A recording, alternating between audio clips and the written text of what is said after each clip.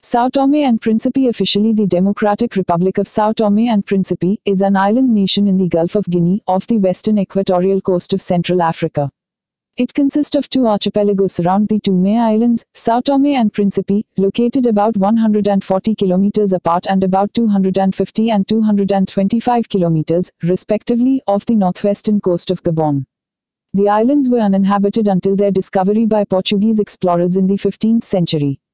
Gradually colonized and settled by the Portuguese throughout the 16th century, they collectively served as a vital commercial and trade center for the Atlantic slave trade.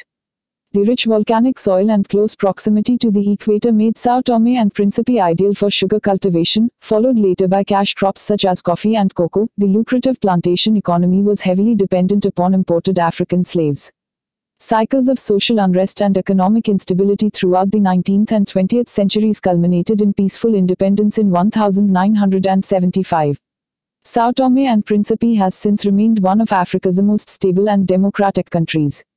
With a population of 199,910, Sao Tome and Principe is the second smallest African country after Seychelles, as well as the smallest Portuguese-speaking country.